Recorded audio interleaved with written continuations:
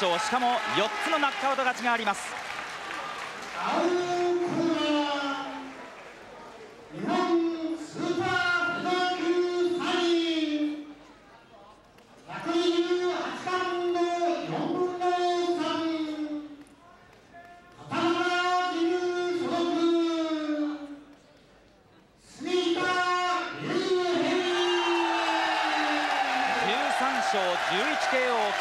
は実に85%を数えます。強打の持ち主杉田龍平です。なおこの日本王座決定戦は3人のジャッジがさばいてまいります。レフェリーは採点に加わりません。10点砲10ラウンドで首位を決します。今宵この試合のレフェリングは内田さんです。両選手がリング中央に歩み寄ります。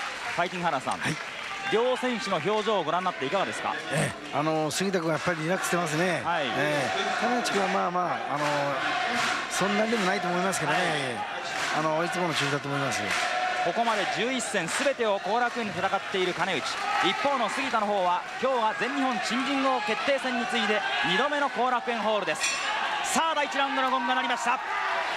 スッと左に動いた赤いトランクス金内剛一方の黒いトランクスが杉田龍平です。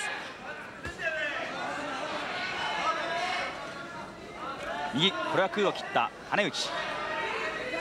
高校時代はとにかくアマチュアの三冠王鳴り物入りでビクトリージムからデビューしました。左いきなりの6回戦連続 KO もジムの会長の死亡を機にゴールデンルーキーの名前はいつしかこのボクシング界から忘れ去られようとしていました。右浜田剛さん、はい、いつもより金内がこの振りが大きいようにも見えますが。あの気合入ってるんですね。気合が入っている、はい、おお右過ぎた。左。空を切りました。しかしこのフック左を放っていますね。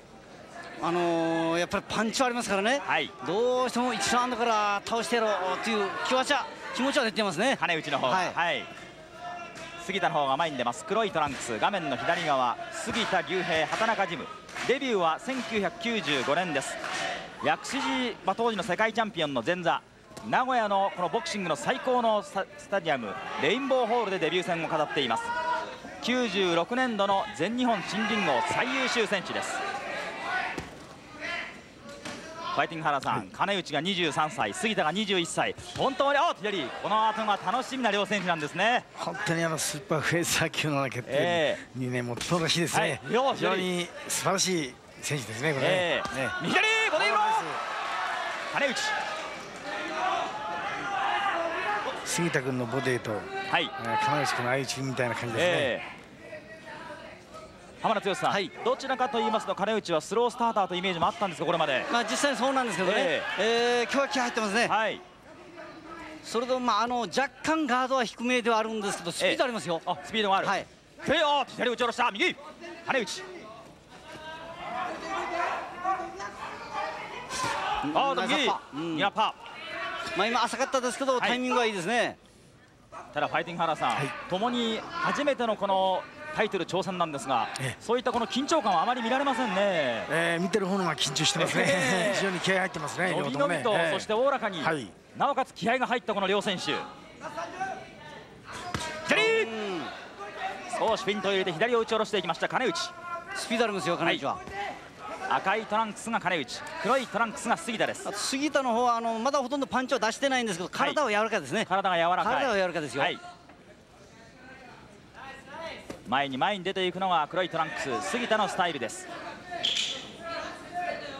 第1ラウンド残りほとんど時間がありません。左ちょっとタイが浮き上がりました。右ラッパー！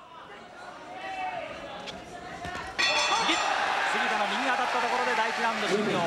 放送席の採点ずっと考えてファイティング原さん浜田剛さんともに10対10のイーブンです。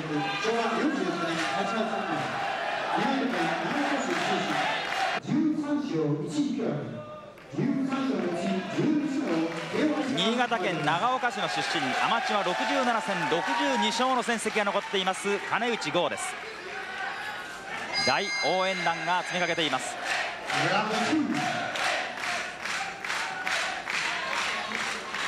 一方の杉田龍平岐阜県吉木郡古川町の出身アマチュアでは1試合も戦ったことはありません。右。軽く右で距離を測っています両者。左のボディーブロー。激しい打ち合いです。左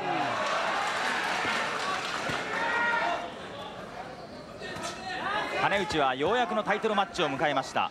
まあ、アマチュアの頃は勝ってもベルトではありませんでメダルをもらうことになります。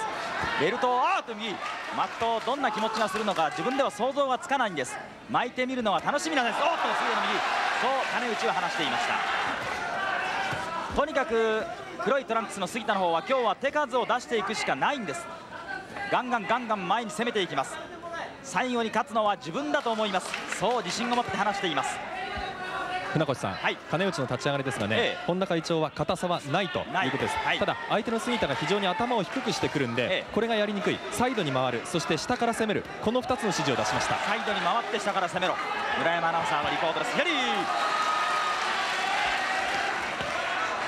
船越さん、はい、一方の杉田ですが、はい、えー、畑中会長は頭を動かしていけ、はい、それから金内に対して打ってもらってちょっと疲れてもらえという余裕のコメントも飛び出しています。なるほど。後半勝負と読んでいるんでしょうか。右。左。右。金内激しい打ち合いだちょうど今、あのー、少し力み気味なところがかなりありますからね、はい、あ右！右に回りながら左アッパーをボディブローに持っていくと面白いですけどね。右に回りながら、はい、あのー、杉田の方は結構頭動いてるんでですね、はい。えー、左ストレートをいきなり狙うとなかなか当たりにくいはい右杉田の右ファイティング原さん、はい、このラウンドは杉田もちょっと構成に出てきましたね、えー、そうですね、あのー、ちょっと金内君はちょっと大振りが多い、大振りっていうか力が入りすぎてますよね。いつもより気合が入りすぎ、えー、入りすぎ。ますね。はい。そこをうまくですね、あのー、杉田君うまく避けてしながら出してますね。はい。だから逆にですね、金内君もあのスパンチ、ステパンチって言いますかね、はい、入れた方がいいですね。えー、浜田剛さん、はい、本来はそういった手数、技術、はい、それがあるのは金内なんですよね。まあ、ねあのー、やっぱり今日はタイトルマッチということもあってですね、えー、早く倒したいという気持ちが出てるんですね、はい、ボディブローから右そういえば試合の前に KO にこだわらないと話していたのは黒いトランクスの杉田でした。一方の金内の方はチャンスがあれば倒したいそう話しています。杉田は、まああのー体全体のリズムそして体柔らかいですよ、はいえ。ー、一発パンチはやっぱり彼女の方がありますけどね、えー、えー、体の柔らかさは全ていいものを持ってますよ、はい、さあこのラウンドもほとんど残り時間がありません。第2ラウンドです。日本スーパーフェザー級の王座決定戦。かつてはジュニアライトと呼ばれていた階級です。ここでゴング第2ラウンド終了です。このラウンド10対10のイーブンです。第2ラウンドの杉田の右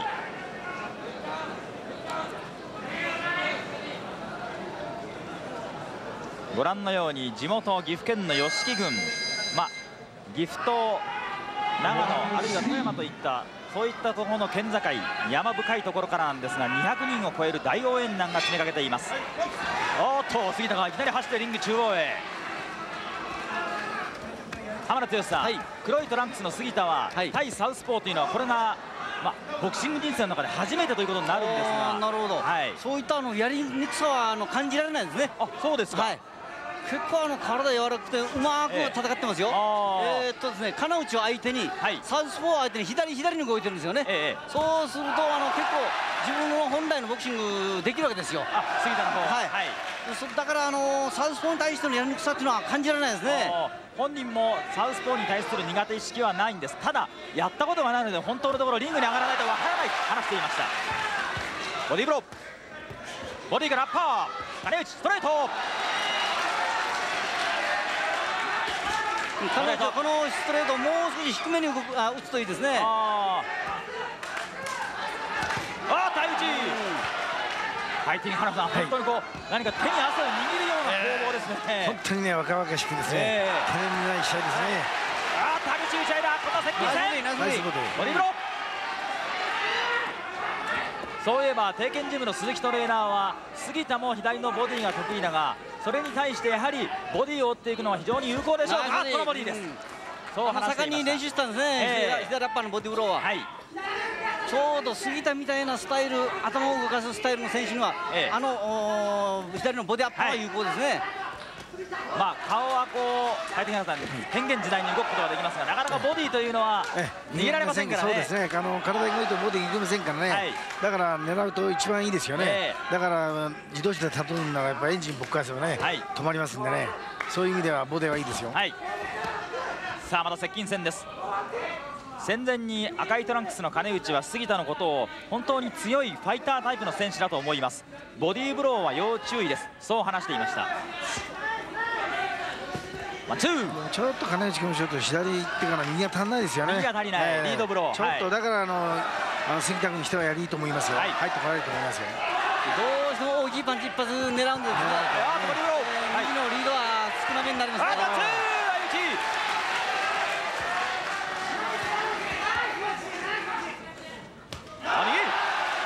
の右。ワンツー。ボディーブローは杉田このラウンド残り30秒を切っています。第3ラウンド。右のボディーブローは杉田左左のストレート。右。うんもう少しこの右からリズム取ると左が出やすいんですね。このいきなりの左というのが多いですね。そうですね。やっぱりいきなり左いきなりの右フックやっぱり、えー、ノックカット狙いたいという気持ちが出てますね、はい、ボディーブローあっと相打ち相打ちで終わりました。第3ラウンド手に汗握る一戦このラウンド海津原さんが10対10浜田さんが初めて金内に10対9とつけました。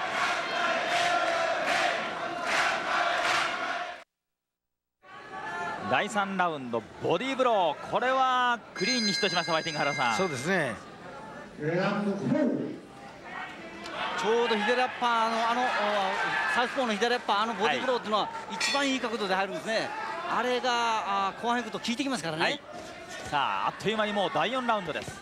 ああ大打ちあっと食らってきた杉田もとにかく13勝のうち 11KO ですただ畑中会長によると一発のパンチ力でこの KO 率を誇っているんではなくてしつこく手数を出していくそれが KO 率に結びついているどっちかというとそういったタイプですねそうですか、はい、さあこのラウンドは金内がまず構成だ金内構成押していく左トラックを切った右さあ杉田もパンチを返していく。あっとファイティング原さん、杉田もひるみませんね。そうですね。あの、えー、どうしても交代になった場合にはもう、はい、金内君多いですからね。だから下がらない下がらないやっぱり前出てきてますね、はい。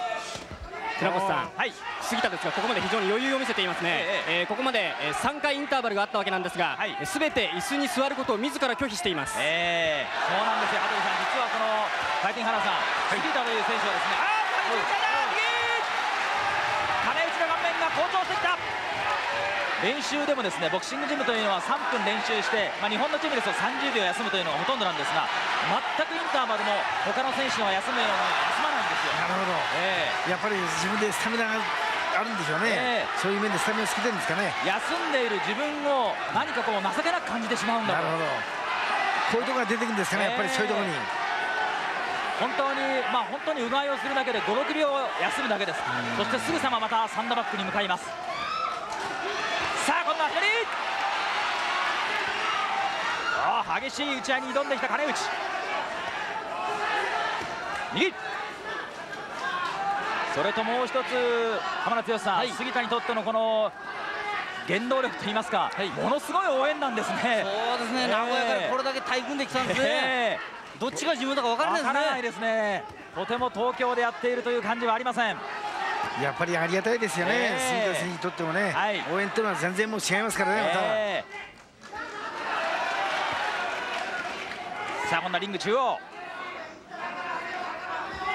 杉田竜平は高校1年生の時に「初めの一歩」というボクシング漫画を読んでそれまでやっていたサッカーをすっきりとやめてボクシングを始めました2年間は全くの独学でボクシングをやっていました高校3年生の時にジムを開設した畑中ジムを訪れて畑中ジムプロ第1号になりました。そして今畑中ジムから初の日本タイトルへ挑戦をしています。何でもファイティング原さん、はい、大きなジムに入っては僕みたいな人間を教えてもらえないだろう。ただできたばかりのジムならば親切に教えてくれるだろう、うん、そう考えたそうなんですなるほどね、えー、考えてますねよくね、はい、それは本当かも分かりません、えー杉田自身は畑中さんが世界チャンピオンだった頃のことは全く知りません。そう話しています。さあ第4ラウンドもあっという間に間もなく3分です。ここでゴング第4ラウンド終了。このラウンドはファイティング原さんは10対10ですが浜田剛さんは10対9今度は杉田です。第4ラウンド。いや放送席のお二人の採点を見ても五分ですよ。わからないですねこの後の展開が。そうですね。まああこれからどれだけ、えー、どの選手が出てくるかでまた違ってくると思いますけどね、えーただ最近のあのファイティング原さんタイトルマッチではやはり序盤戦で主導権を握ってそのままという試合が多いんですが、ええ、今日はこう本当に全く分かりませんね、え離せませんね、え非常にあの両選手ともでね、はい、本当にもう上り坂の選手ですから、ね、非常に目離せません。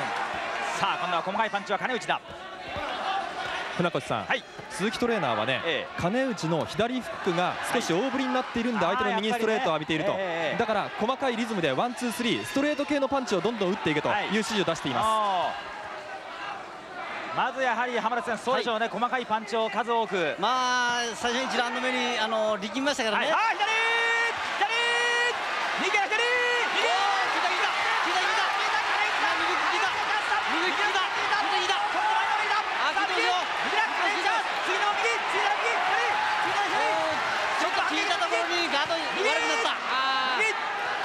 きましたけどね、はい、聞いておりましたけどちに行ったんでガード低くなりましたね、ただ今ファイティングさん杉田もよくパンチを返しましたね、この時はでも彼女の攻めですよね、今は攻め、それとあのちょっと彼女が一番のからやり方の、杉田のあの頭が低いんですよ、頭が結構ぶつかってるんですよね、少し金内の左の目の上あたりが腫れてきました。狙っちゃダメですよ狙っちゃダメですよね。金内がね。狙ってますね、はい、この回のあの出だし良かったんですよ、えー、ただまた大きいのが当たったんでまた狙い始めましたね、はい、やっぱり開始ですよ。コンビネーションですからね。はい。浜田剛さん、はい、金内ほどのパンチ力があればそんなに力を込めなくても数2つ3つ当たればもうかなりのダメージを与えられるんですよね。本当そうなんですけどね。実際に、えー、試合になってみると、はい。いいの当たるとどうしても力んでしまうのが人情ですね、はい、しかも両者ともに本当に欲しいと念願している日本タイトルがすぐ目の前にあります。右杉田。右。杉田のいいところ絶対に顎上げないですよね。顎を上げない、はい、そういうところい。いですね、右。右。右の連打。左右のフック。さあまだ打ち合いの接近戦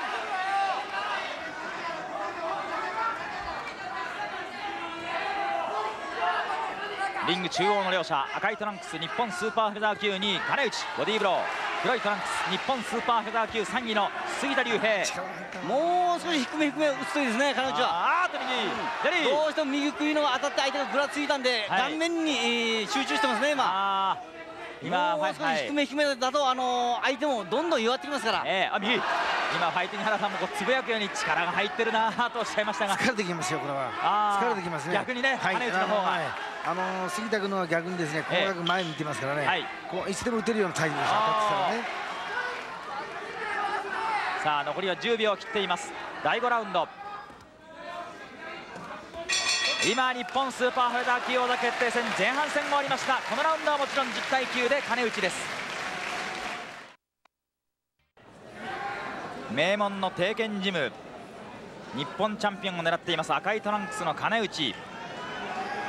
チャンスでしたファイティング原さん。そうですね。ちょっと不意が大きいですね。あの返してるのがいいんですけどね、はい、もう欲言いますとワンツースリーまで行きたいですね。画面向こう側鈴木トレーナー。一方畑中会長一言声をかけてリング中央に送り出しました杉田。おっと左のキック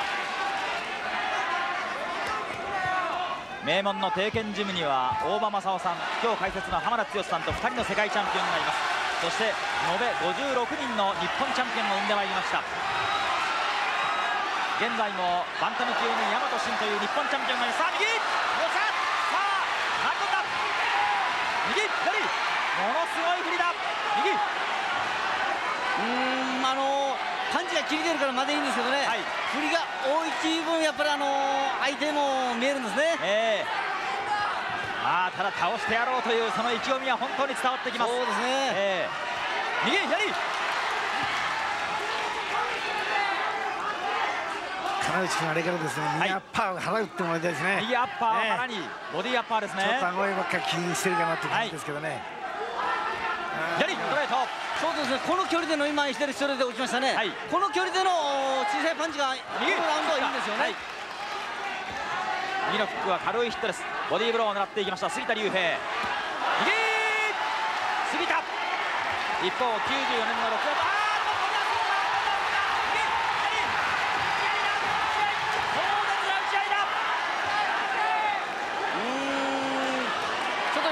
組みましたね。あのー、はい、あの小さい感じなんですけど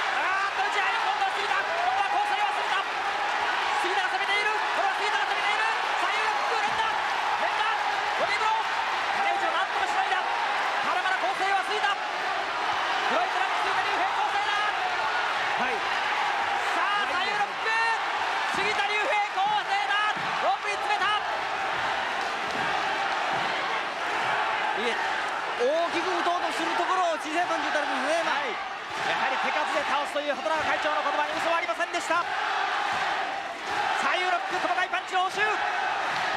そこで金内も小さく打つことですよ、はい、小さく同じスピードで相手と同じスピードで打つことですよ、えー、パンチ力では金内の方があるんですから、ファイティン原さん、それにしても両者ともに本当に気迫が充実してますね。素晴らしいですね。素晴らしい試合ですよ、えー、本当にこれはもう黙って見ててしたいですね、えー、本当に素晴らしい。後楽園ホールから金内コールと竜兵コール。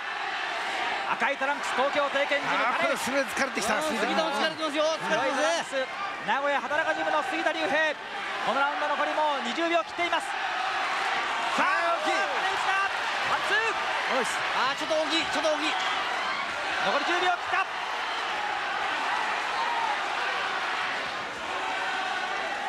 リング中央ちょっと大きい。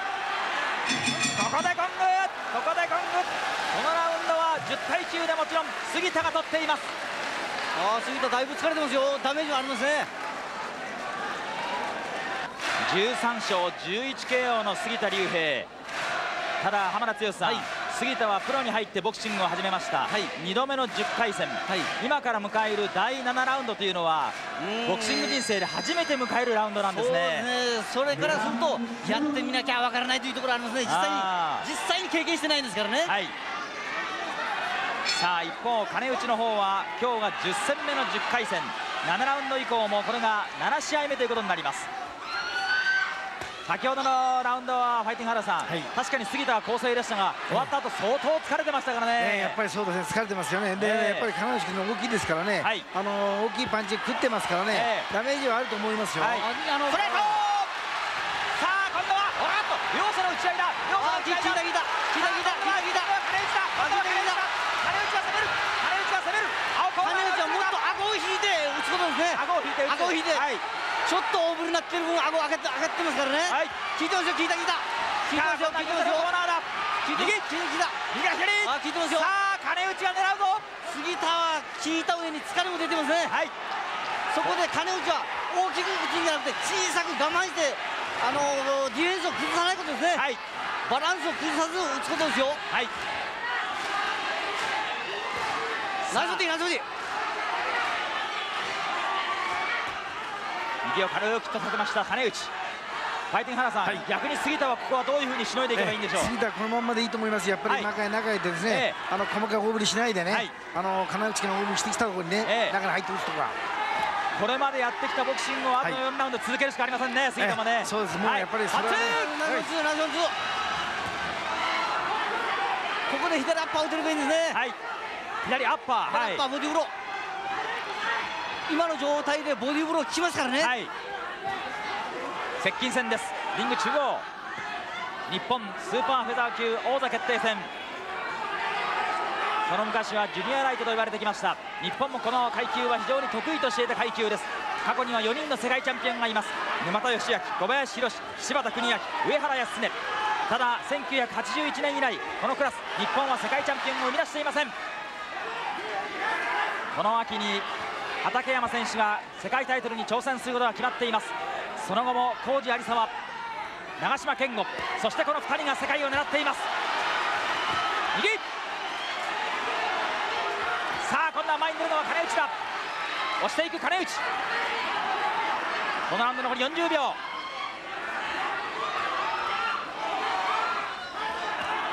少しこのラウンドはファイティングハーさん、両者ともにやはり疲れてますかね、えー、疲れてますね、えー、これ一発またと無事ですけどね、はい、だからこここそね、えー、熊地君としてやっぱり手を出すですね、手を出す、えー、細かくね、はい、大きい、あ距離。金尾ちゃん、もっと前に出ながら、もう少し振りを小さくしたいですね、えー、そうするとバランス崩れないですから。はい。でも杉田君、この頑張り、さしたもんですね。え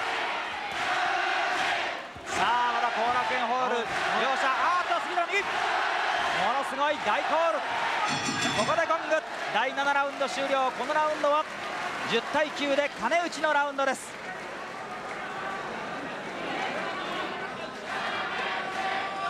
第7ラウンドの両者の攻防です。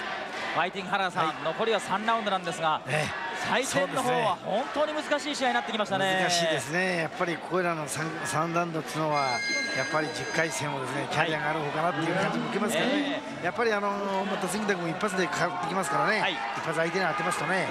そのやっぱりあの声援なんかと違いますからね、やっぱりそれによってきて面白いんですけども非常にこれから3ラウンド目合わせませんね、はい、あーっと杉田が出る。杉田が出る。いきなりの打ち合いだ。ここは両者終わります内田レフェリー。黒いトランクスの杉田龍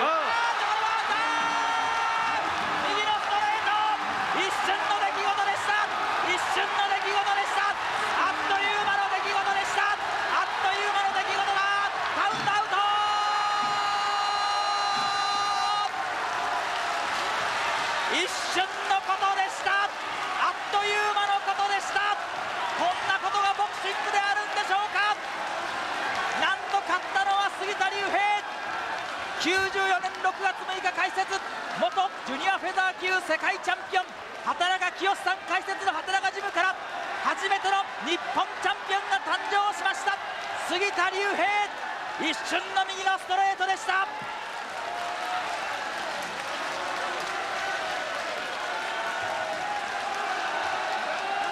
今両者が一旦て接近したその一瞬の出来事でした。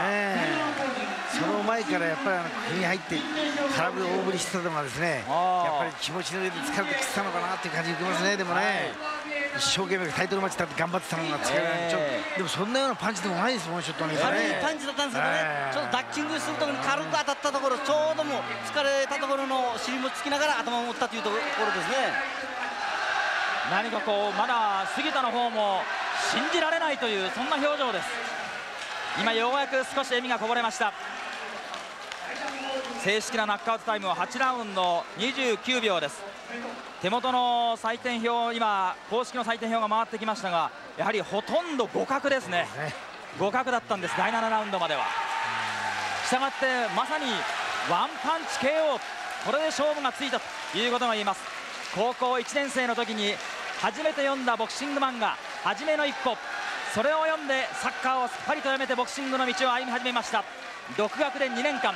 その後は文字通り畑中清さん解説した畑中ジムでプロ第1号としてこの畑中ジムを引っ張ってまいりました。今日本の頂点に立ちました。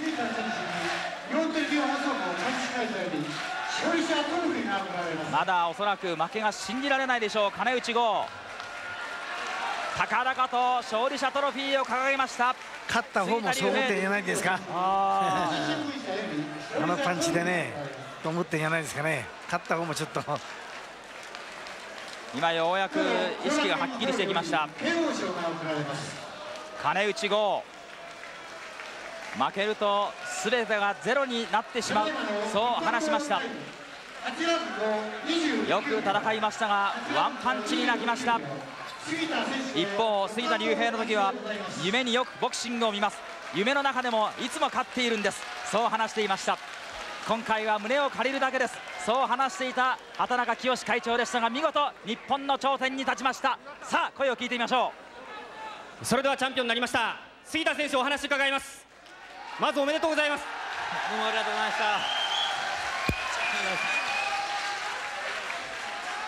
た。ものすごい打ち合いの試合でした、はい僕も8ラウンドもフラフラでもうたまたまいいのを当たっただけでそうじゃなかったら僕も危なかったです。うん、会長がもうあと1回堤先生もあと1回でもう終わりやって言ったもんでもうそう思って手出しました。それがたまたま当たっただけです。畑中ジムプロ第1号の杉田さんが畑中ジムで最初の日本チャンピオンになりました。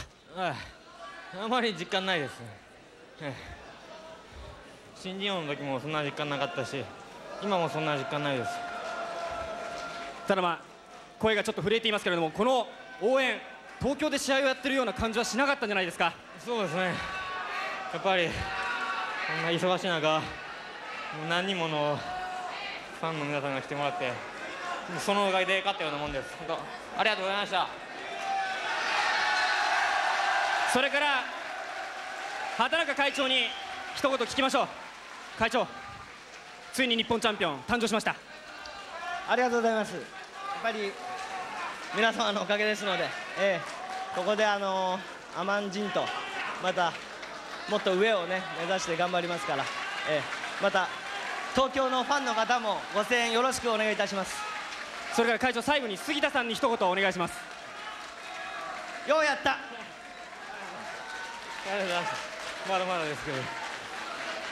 おめでとうございました。見事チャンピオンに輝きました杉田選手でした。素晴らしい。本当に素晴らしい。新しい第34代の日本スーパーフェザー級チャンピオンの誕生です。